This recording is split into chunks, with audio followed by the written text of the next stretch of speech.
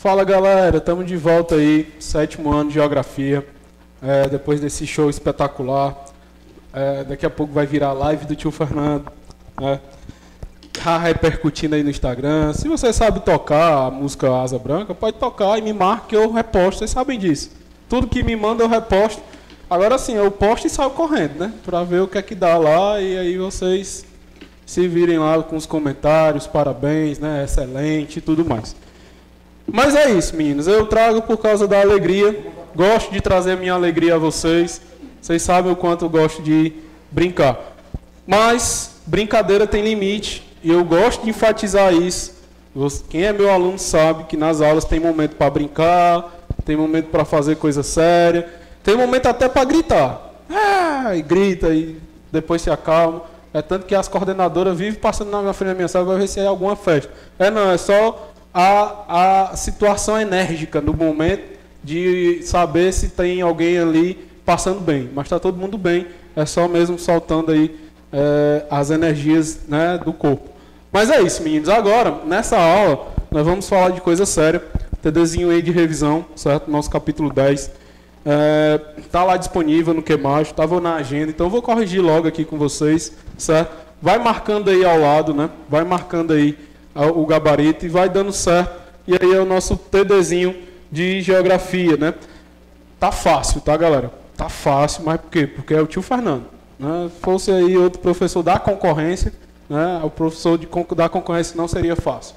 Né? Mas como é o professor Fernando do ATS, é aqui, cola aqui na nossa TV e vamos adiante. Esse merchandising ficou legal. Na próxima eu vou gravar esse, esse negócio aí e botar como chamada, certo? Das nossas aulas. Mas para isso, galera, nós vamos comentar agora na primeira questão, certo? Ah, reforçando, dúvida, deixa para o final, tá? Dúvida, deixa para o final. Por quê? Porque a dúvida, ela gera muitas, muitos comentários meus, vocês sabem. Eu vou conectando uma coisa com outra e aí não tem fim. E se der certo, não tiver dúvida, eu termino aí cantando de novo, quem sabe. Beleza? gostar da proposta, né? Tô brincando, tá? Não, não tô aqui para fazer sucesso nem me candidatar ao The Voice. Mas vamos falar aqui sobre a nossa primeira questão. O governo federal desenvolveu uma obra enorme e polêmica. Legal, nessa palavra polêmica. Por quê? Porque custou 7 bilhões de reais aos cofres, aos cofres, aos cofres públicos. Se custou tudo isso e demorou mais de 150 anos para ser colocado em prática, então nós temos aí uma condição bem interessante de polêmica mesmo. Né? Mas se você comparar a obra de transposição de São Francisco de 7 bi para o que a gente paga de dívida pública, não se compara. Né? Nós pagamos mais de 400 bilhões de dívida pública. Dá para fazer aí, acho que umas 20, umas 20 obras do, do São Francisco e ainda sobra dinheiro. Então, depende muito do seu ponto de vista. Né? Você acha um valor alto? É. Mas se comparar a outro valor que nós pagamos e nada acontece de obras né, de infraestrutura, eu prefiro a obra do São Francisco, beleza? Pelo menos fixa o homem no Nordeste, né? Não vai produzir mais aquela migração, nem aquele sofrimento ao povo nordestino. Então, mais de 12 milhões de famílias foram beneficiadas com a transposição. Para combater e diminuir as consequências da seca no semiárido. Consequências da seca, ó, fenômeno social. Onde o maior beneficiário pela construção do projeto seria o sertanejo pobre. Qual o nome dessa obra? Transposição do Parnaíba? Não, né? Transposição do Jequitinhonha? Também não, né? Transposição do São Francisco. Então você coloca aí, primeira questão, letra C, né? Primeira questão, letra C. Integração do Rio Jaguaribe? Também não, né? Tá Dudu, né? Não tem problema, é só dar um backspace Estou falando aqui no inglês. Beleza? Letra C, primeira, primeira questão. Item C. Isso. Tá todo mundo pegando aí? Alguma dúvida, Tio Não? Posso ir adiante, então. Vamos lá. Então, essa primeira questão, né? Vale a pena aqui só falar que é uma obra enorme. Né? Enorme porque, porque ela é gigante já mesmo. Só que ela tem 150 anos, viu, galera? De Dom Pedro II para cá. Então, tu tira aí o quanto durou para é, para colocar em prática. Polêmica, porque aparentemente custou muito dinheiro, mas eu gosto de botar uma outra referência, a referência da, das bancas que nós pagamos, né? A nossa dívida pública. O Brasil é um dos países que mais pagam juros a banco e a outros setores financeiros que sequer produz nenhuma obra, né? Então é preciso denunciar isso. Então você tem aí a polêmica porque é 7 bi, mas se você pegar a dívida que nós pagamos aos bancos dá 7 bi vezes 100, né? O que o que quer dizer então que é caro? Uma obra que durou né, esse tempo todo ou o que a gente paga ano após ano, né? Em 150 anos, quanto nós pagamos de dívida pública? Vale refletir, né? Vale ter essa ideia na cabeça, beleza? Então vamos adiante. Enorme polêmica para combater e diminuir as consequências da seca, onde o maior beneficiado pela construção do projeto seria o sertanejo pobre. Outra polêmica, né? Porque quem está se beneficiando mesmo são os grandes agricultores, né? Porque o sertanejo pobre não tem dinheiro nem para comprar uma bomba d'água. Como é que ele vai colocar irrigação? Beleza? Então é bem interessante sim o que tem aí. Então exercício 2. Analise o mapa a seguir. Nós temos aí Rota do Tesouro, Confira para onde vai o dinheiro das montadoras do Nordeste. Trola, que foi vendida para, se eu não me engano, para a Fiat. Né? A Fiat comprou, ou foi a Ford? Eu acho que foi a Ford. Ford comprou a Trola para investir dinheiro aqui. Né? Nossa Trola era genuinamente cearense, por incrível que pareça. Mas era um jeepzinho que é mundialmente conhecido para produzir aí, para praticar as trilhas. Né? Então a Trola produzia um carro regularmente bom para a trilha. Nós temos um, um, um, investimento da Fiat lá em Suape, né? E Goianinha, Pernambuco. Então nós temos Troller, você pode botar aqui também é, a questão da siderúrgica. O governo do estado estava tentando trazer a Hyundai para cá, né? E a Kia, que são montadoras aí sul-coreanas, né? Para aproveitar o aço que é produzido na siderúrgica lá, aonde? São Gonçalo do Amarante, né? Distrito lá conhecido como Pecém, né? São Gonçalo é o município Pecém é o distrito. Então nós temos aí no Ceará esses investimentos, né? E aí, sem falar da Fiat, da Chinerai, grande Chinerai, né? Produz, produz aquela mobiletezinha cinquentinha, né? Que dá muito problema no nosso trânsito, porém também gera renda, né? Então é difícil aí você criticar a moto porque causa muito acidente, mas ainda assim está produzindo renda. E aí, como é que faz? É melhor regulamentar, é melhor dar um jeito de resolver os problemas. Vocês sabem disso. Problemas complexos, soluções complexas. Sempre afirmei isso para vocês e é preciso a gente ter essa condição. Sabe quem falou isso recentemente? Foi uma presidente, né, uma representante master aí da Alemanha, né? Situações extraordinárias requerem atitudes extraordinárias. Então, se a Angela Merkel está falando isso, quem sou eu para duvidar do problemas complexos, soluções complexas que o Fernando vem falando para vocês, ó. Antes mesmo da Angela Merkel falar, viu? Então, olha aí que o tio Fernando está alinhado com o mundo moderno, viu? Então, nós temos aí Troller, Fiat, Chinerai, Jack Motors. Com certeza vocês já devem ter visto. Ou algum pai ou mãe já comprou um carro, ou tem alguém conhecido que comprou. Johnny, né, que produz também motinha, cinquentinha, e a Ford em Camaçari. Galera, Camaçari é um local maravilhoso. Já disse para vocês, vou visitei a Bahia. Eu só não fiquei na Bahia porque, enfim, eu ia sentir saudade de vocês. Mas a Bahia, Camaçari, é massa demais, é fantástico. Depois da pandemia tem que marcar para visitar de novo, que é maravilhoso. Então, a partir do mapa e dos conhecimentos desenvolvidos durante seus estudos sobre o capítulo 10, nós estudamos isso aqui, né? Essa industrialização, ela dobrou o PIB, né? Dobrou o PIB do Ceará, dobrou o PIB do Pernambuco, dobrou o PIB da Bahia. Então você observa que a industrialização ela é importante para, o nosso, para a nossa região. Podemos concluir que os estados que destacam pela industrialização do Nordeste são, e aí? Ceará, Pernambuco, Bahia, Maranhão, Pernambuco, Paraíba, Bahia, Sergipe e Alagoas, Maranhão, Sergipe e Paraíba, Ceará, Bahia, Ceará e Paraíba. Eles estão respondendo que é o item A. Letra A, muito bem. Se garantiram. Esperaram nem o tio Fernando falar. Show, certíssimo. Beleza? Tá fácil, né? Tranquilo, né? Ainda mais com o mapa, né? Aí aqui, galera, toda essa, essa galera aqui paga imposto. Além de pagar imposto, também gera renda. Então, olha como é importante, né? Tirar um pouco o que o microfone está doendo aqui na orelha do, do jovem. Bom, Além de pagar imposto, também está gerando renda, né? Além disso, renda, gerar renda para o trabalhador nordestino é gerar desenvolvimento, né? Desenvolvimento humano.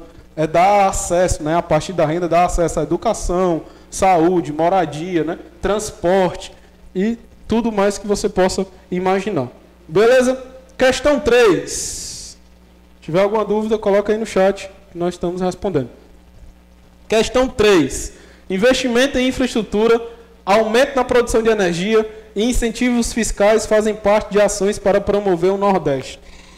Para promover o Nordeste o quê?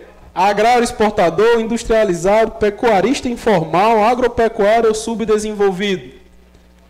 Letra B, né? Industrializado. Galera, vocês vão ver muito aqui no Ceará. É, se você andar por Fortaleza, vai ter umas placas. Estão respondendo que é a letra B. Show, certíssimo, letra B. Mas eu vou só perguntar só falar aqui. Galera, você já deve ter visto as placas com o nome assim, ó, incen... incentivo incentivos fiscais. Bem grande. Não sei se vocês já viram, eu estou botando aqui placa só para vocês. O que isso quer dizer? Onde tiver essa placa tem incentivos fiscais Aí tem governo do Ceará, né? Governo. Governo do Ceará. Ele bota estado do Ceará, né? Novas ideias, novas conquistas, hein? Olha só. E aí nós temos um nomezão bem grande. Não sei se vocês já observaram. SUDEM, né? Superintendência de Desenvolvimento do Nordeste. Então essa SUDEM foi a responsável aí por esses incentivos, né? Incentivos esses que estão nas placas, bem grandes. Você deve ter observado. Se você não observou, você vai observar a partir de hoje. Então isso aqui, ó, é dando incentivo de 30 incentivos fiscais de 30 anos. 30 anos sem pagar um real de imposto. Então os caras vêm para cá, pagam só o salário, né? E o resto do lucro fica com eles, né? Então você tem aí uma vantagem, tá certo? Na questão incentivos, dos incentivos fiscais. Tio, eu nunca vi uma placa dessa, pois a partir de hoje, quando você ver, você vai lembrar. É até branco com verde a placa. Tem muito aí espalhado. Então você tem aí esses incentivos fiscais do governo do estado, né? Aqui, ó, estadual, né? Estado. E aqui FED e aqui federal. Certo? Aqui estado e aqui federal. Beleza? Então essas placazinhas aí bem interessante e tem a ver aqui, ó, com a questão 3, tá bom? Beira-mar, ali tem os moinhos da Praia do Futuro ali na, no Mucuripe, também tem placa. Se você for para Maracanaú, também tem.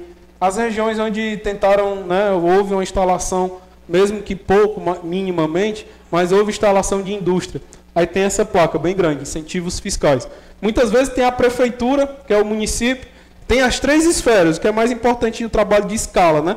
Tem o incentivo fiscal da prefeitura, município, tem o incentivo fiscal do estado e tem o incentivo fiscal do governo federal, que é através da Superintendência de Desenvolvimento do Nordeste. Beleza? E aí vem o Denox, né, com obras e tudo mais. Mas por enquanto, incentivo fiscal tem a ver com a superintendência. Tá?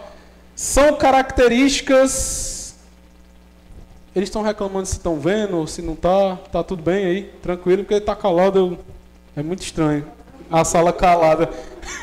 Desculpa, é porque eu estou acostumado. Ei, pss, presta atenção aqui. Pss, ei, presta atenção aqui. Aí, pss, senta aqui na frente.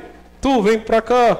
Ah, a gente conseguir dar 20, 30 minutos de aula. Mas aqui, quando está muito silêncio, a gente consegue dar aula. Aí você fica, aí galera, tá tudo bem aí, tá todo mundo legal, sentadinho, beber uma águazinha, tranquilo, livrinho do lado, caderninho, tudo bem. Já já eu libero para o almoço. Estão com fome, né? Eu também estou, viu? Não se preocupe não. Por isso que esse corpozinho aqui, tio Ponce também está dizendo que está com fome. Então, por que, é que você acha esse corpinho assim, esbelto, né? Corpinho esbelto precisa de muito alimento. Brincando, tá? Estou tentando fazer regime. Inclusive, estou caminhando, né? Com máscara e tudo, mas dando uma caminhadinha ali para ver se eu consigo manter o peso, senão vai-se embora. Bom, quarta questão.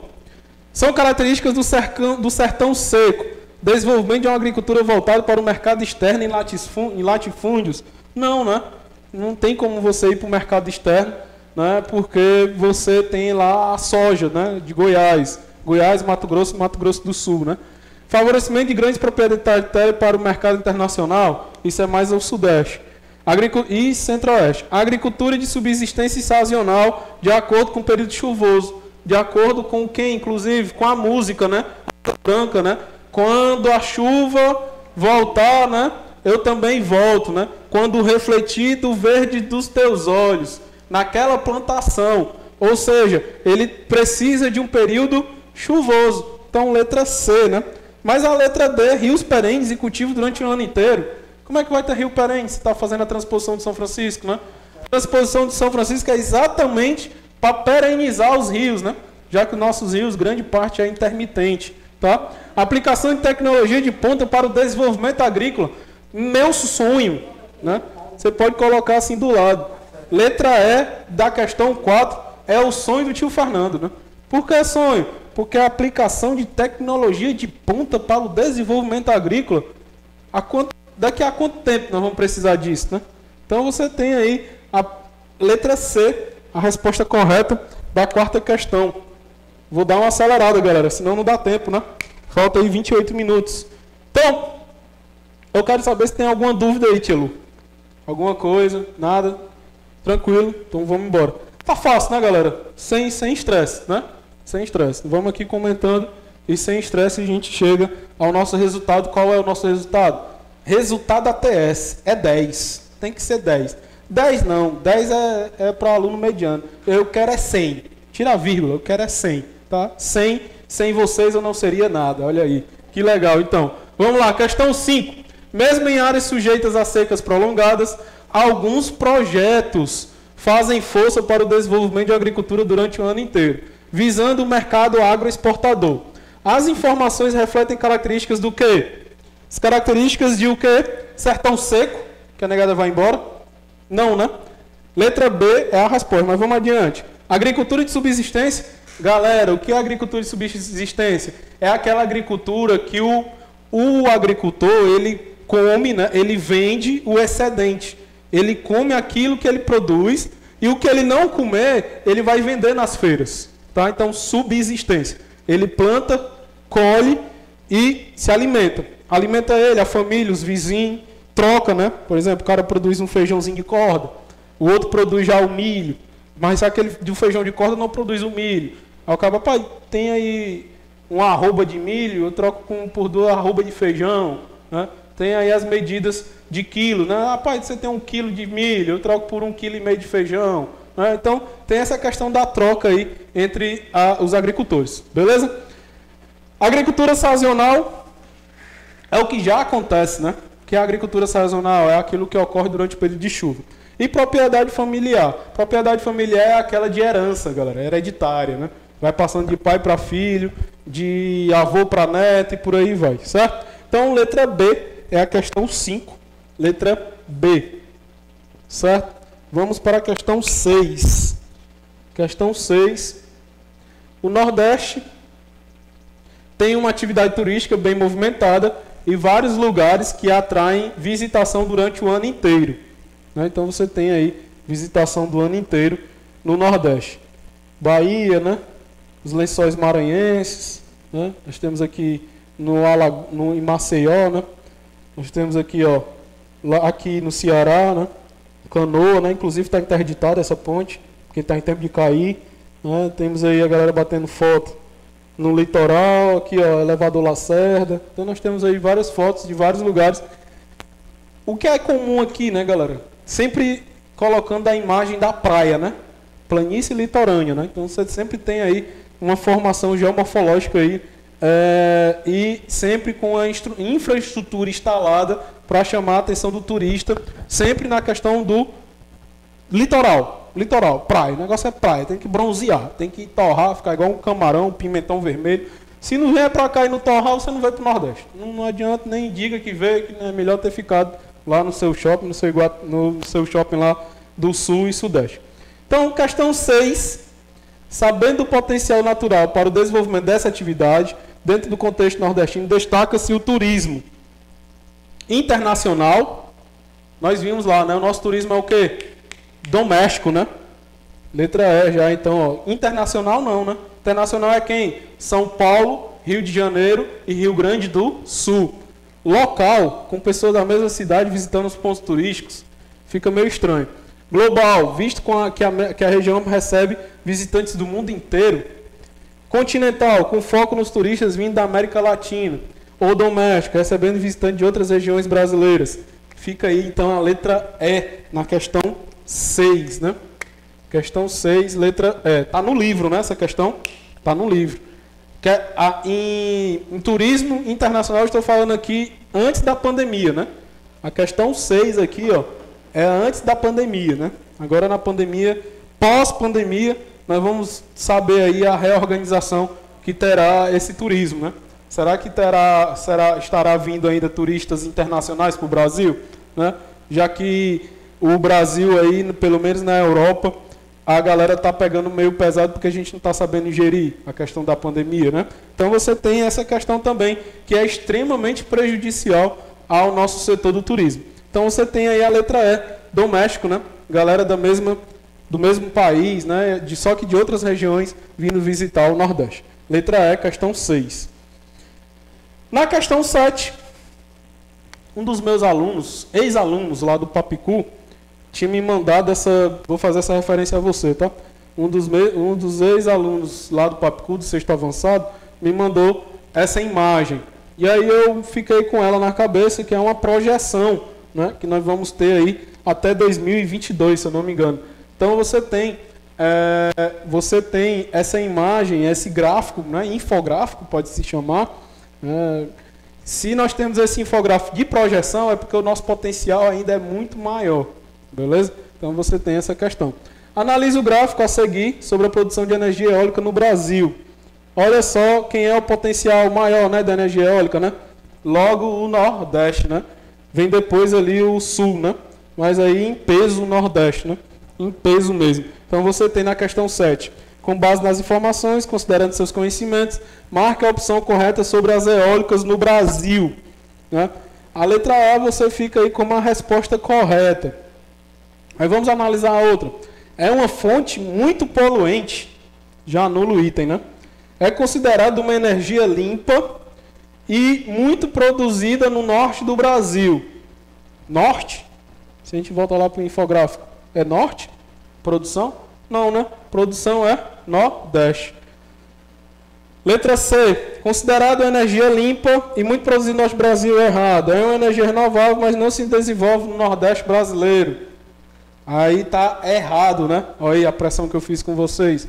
Claro, não é que se desenvolve no nordeste, né? Olha a nossa quina aqui, né? A quinazinha aqui, ó, que dá aí, ó, pro nosso leste, né? Apontado para o leste lá, é onde tem a potencial de entrada de ventos, né? Então você tem o Nordeste aí como um grande poten com um grande potencial para o desenvolvimento da energia eólica. Inclusive está no gráfico, né? É energia limpa, mas com poucas condições naturais para produção no Brasil. Também está errado. Então fica aí a letra A. Tá terminando, galera. Eu sei que vocês estão com fome, eu também estou. Aguenta um pouquinho, fica aqui comigo. Rapidez. Vamos para a oitava questão. Observe o gráfico e marque a opção correta de acordo com a pergunta a seguir. Exportação de soja na região. Exportação de soja no Nordeste era 5,81% só, né? Sai de 5,8 para 13,8, né? Por causa de quem, né? Sul do Maranhão, né? o oeste do Piauí e o oeste da Bahia, né? Sul do Maranhão, oeste do Piauí e o oeste da Bahia, beleza? Então você tem, eu estou falando da posicionamento das plantações no Nordeste, tá? Não estou fazendo referência à região. Estou falando da, da, posicionamento geográfico dentro da região Nordeste. Qual região dentro do período destacado teve o maior aumento das exportações de soja? A, o Sul, B, Sudeste, C, Nordeste, D, Norte, e é centro-oeste. Qual seria a resposta então? Nós estamos falando aí de diferença, né? O sudeste, por exemplo, deixou foi de exportar, né? O sul também diminuiu, né? O norte também aumentou, mas aumentou como o nordeste? Não, né? Então a resposta letra C. Letra C, Nordeste, beleza? Estamos terminando, galera. Se tiver alguma pergunta, guarda aí que eu vou abrir para perguntas já já. Para os centros industriais nordestinos, a construção de uma infraestrutura portuária se faz necessário para. Galera, o que é o porto, né? O porto, ele se faz necessário, galera, por causa da quantidade que precisa ser exportado, né? Quantidade. Baixa quantidade ou uma alta quantidade? Galera, o que você puder meter dentro do navio, ele vai ficar bem rebaixadozinho, né? Vai ficar bem ali, só o... Parece aquele carrinho rebaixado que passa ali. Não, não, não, não, mas ele leva. Por quê? Porque nós temos que exportar em tonelada. Se nós temos que exportar em tonelada, nós precisamos da maior capacidade possível né, de transporte. E a maior capacidade até hoje de transporte são dois, né?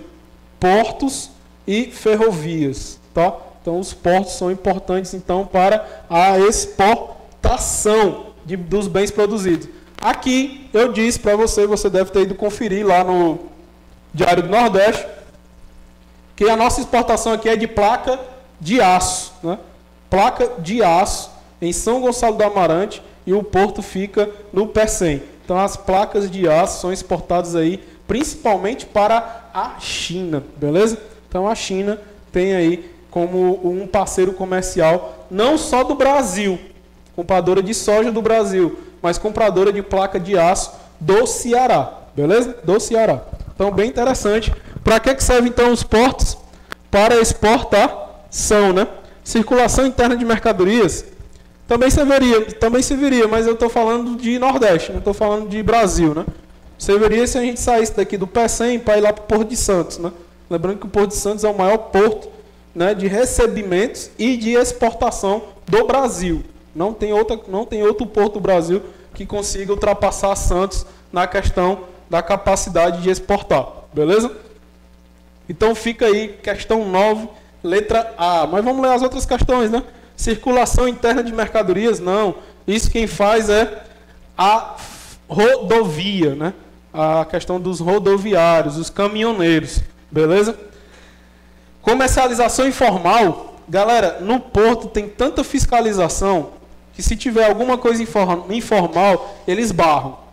Tem que barrar, porque se, se deixar passar, perde a carência, perde a confiança. Você sabe, mercadoria, troca comercial precisa de confiança. As pessoas precisam confiar na gente. Se você tem uma comercialização informal, você tem aí a questão da desconfiança dos países ao nosso Estado, né? ao que está acontecendo aqui. Né? Então você tem que entender que o mundo todo está olhando para as exportações brasileiras, para o que ocorre aqui. E a gente não pode, né, não pode, não deve, porque é prejuízo à nossa economia. A gente não pode, não deve jamais comercializar de forma informal, de modo informal, né? Que aí fica meio que aquele mercado lá que fica fora da é, mercado fora da, da condição de é, de recursos, né? Então a gente chama lá o mercado alternativo. Esse mercado alternativo não é interessante, tá bom? E não era para é, existir nem a gente é, é, e nem a gente conseguir é, produzir isso aqui. Então a gente precisa combater a questão da informalização. Tudo tem que estar nas normas técnicas. Porque quando o francês e o alemão, né, que são nossos parceiros comerciais, vem, vem para cá, se ele pegar essa comercialização informal aqui, meu chapa, ele só volta aqui, aqui daqui a 20 anos. Porque ele vai ficar pé da vida. Oh, como é que pode você fazendo isso? exportando de maneira informal, não pode. Como é que eu vou pagar a vocês? Entendeu? Então é bem interessante. Argentina também, Uruguai, países vizinhos, né? Que também nos, nos fiscalizam. Então tem fiscalização externa, tem fiscalização interna. Então essa letra C é bem interessante para que você aprenda isso, tá? Informalidade não. Letra D, abastecimento do mercado local. Também não, é por modo rodoviário, né? Não é pelos navios, nem não é pelos portos. Letra E, envio de mercadorias para o interior. Isso acontece na Amazônia, galera. O cara adentra no rio Amazonas, né? E consegue navegar as pessoas costumam carregar mercadorias naquelas grandes balsas, né? aquele negócio que a galera arma rede, né? Várias redes armadas na balsa. Então ali é uma forma assim de transporte de mercadoria, mas ocorre na região norte, não na região nordeste. Beleza? Então fica aí, letra A, nona questão, né? Letra A. Décima questão e última.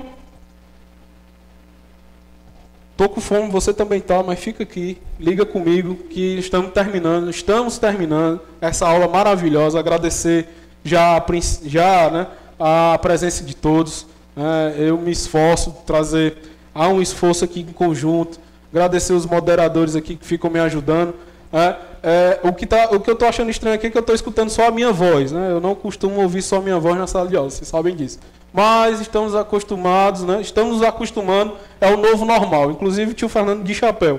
Então você tem aí tudo bem é, diferente do que era antes. Bom, então na questão 10, desenvolvimento de uma agricultura irrigada, favorecidas por, por projetos como a construção de açudes, olha só, perenização de rios, transposição de São Francisco. Ainda coloca aqui, ó, perfuração de poços, né? ocorre a perfuração de poços. Então a perfuração de poços também entra como obra hidráulica, né?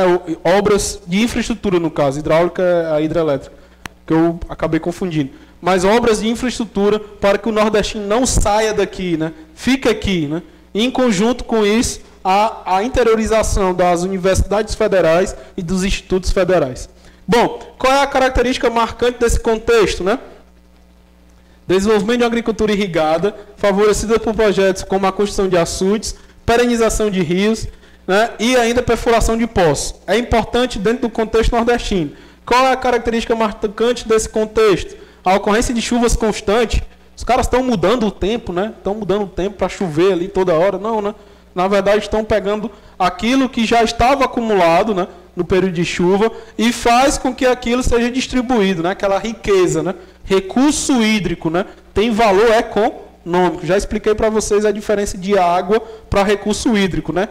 Água é qualquer líquido, né, que tenha características da água, características químicas e biológicas.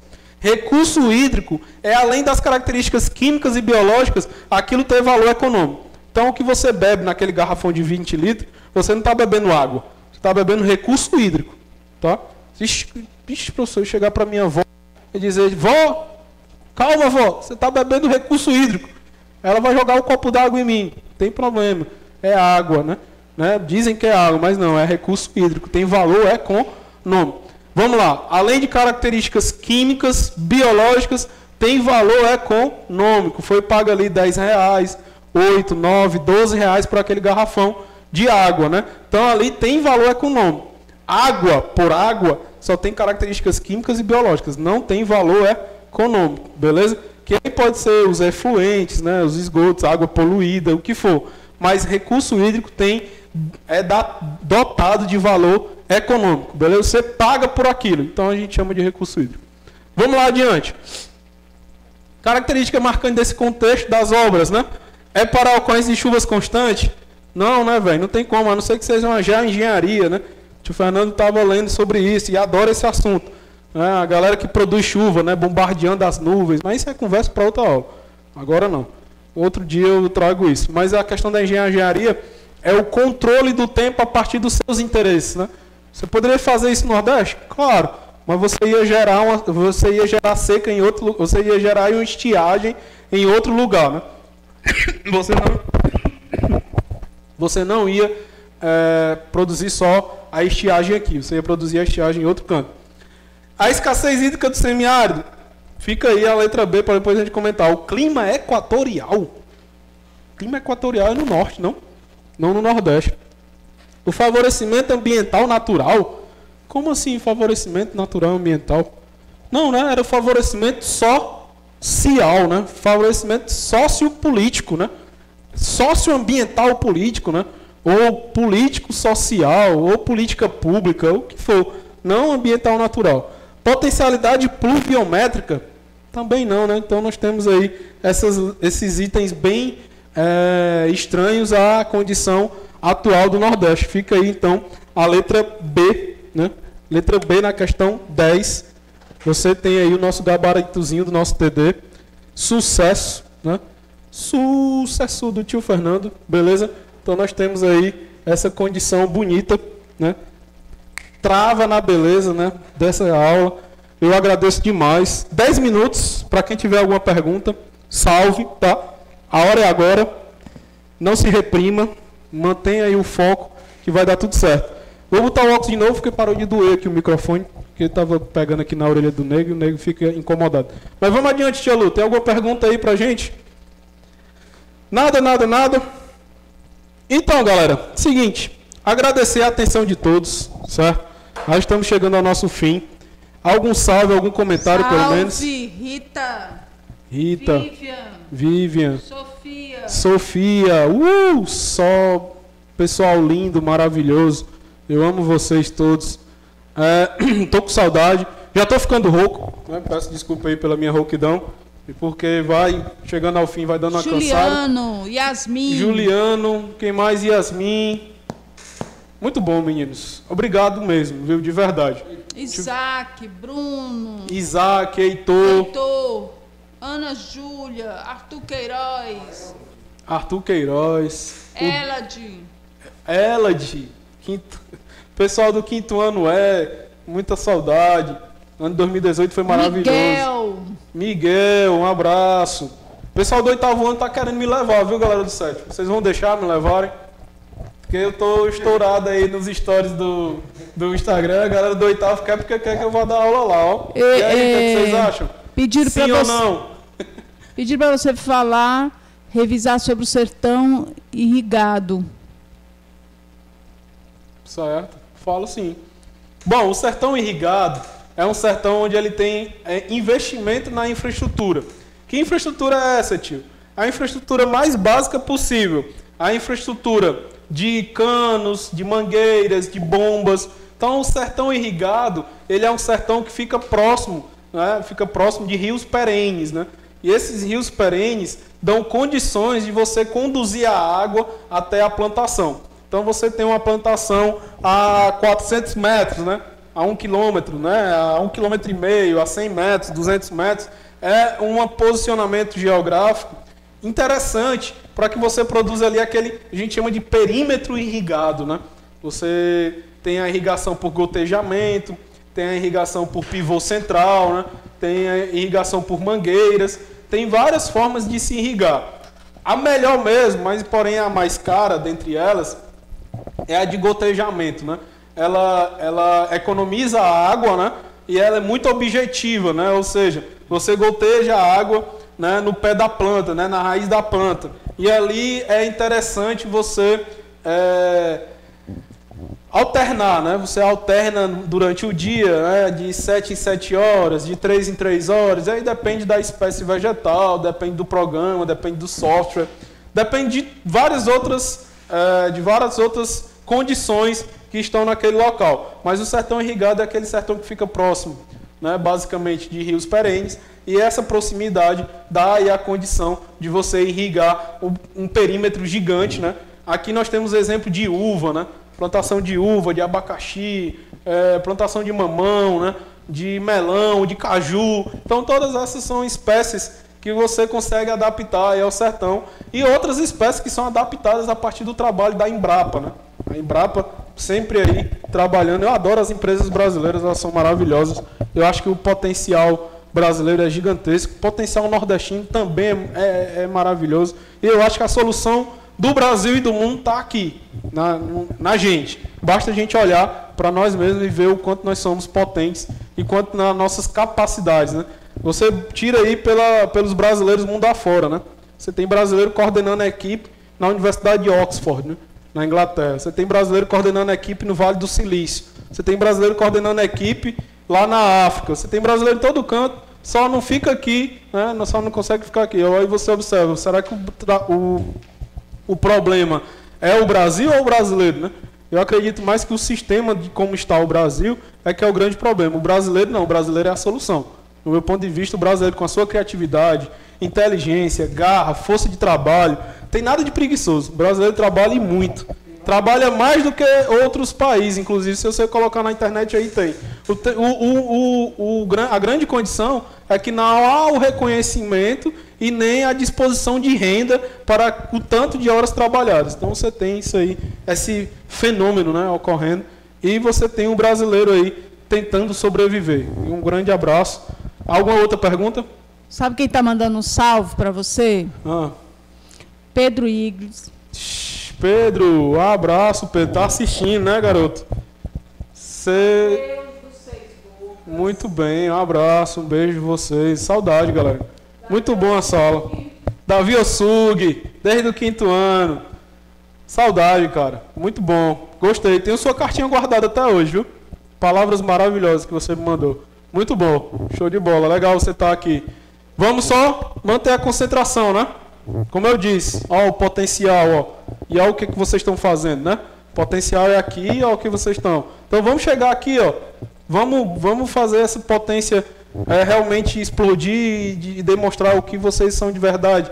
Bons alunos, inteligentes, criativos, que escutam o professor, porque eu sei, convivi com vocês nesses três anos e estou dizendo aí várias qualidades que vocês têm. Tá ouvindo pai? Tá ouvindo mãe? Tá ouvindo vô? Tá ouvindo vô? Os meninos aí são inteligentíssimos. Escutem eles, né? Deixem eles falar de vez em quando, também faz bem. Vai. Estão querendo hashtag Anderson, próxima aula. Show! Tá confirmado então. Vamos, vou conversar com ele. Porque o tio Anderson ele edita, né? Algumas, alguns vídeos. Também para você chamar o pessoal do, do Lomite, né? Porque sempre tá você e o outro aluno, Miguel.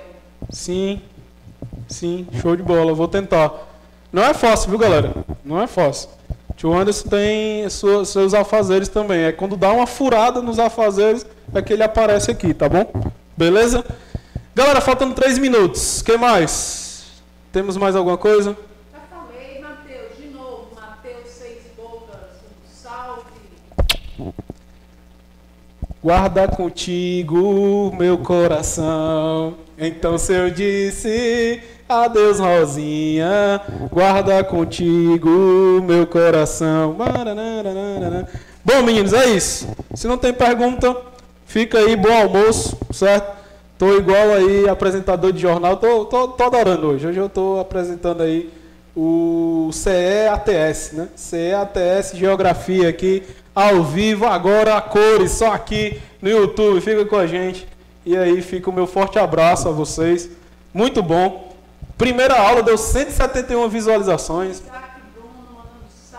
Vascaína Isaac, você gostou das novas blusas, né, cara? Vou comprar aquele casaco lá, aquele casaco da capa tá bonito do Vasco, beleza? O grande Vascaíno. Um salve para as outras torcidas também, tá? É porque o Vasco tem um apelo mais. Carioca. Não precisa falar, não. Pois é, eu lembro. Vascaíno. Lembro? Claro. Só não tá vendo mais os vídeos do tio Fernando defendendo bola no racha, né? Tio Fernando defende bolas aí inacreditáveis, né? Inacreditável futebol clube, né? Do tio Fernando. Galera, valeu, bom almoço. Fiquem com Deus e até mais.